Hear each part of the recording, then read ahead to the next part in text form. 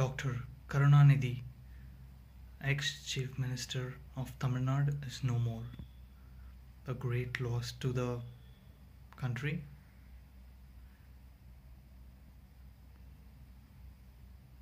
He was not only a politician, he was a great director, cinema writer,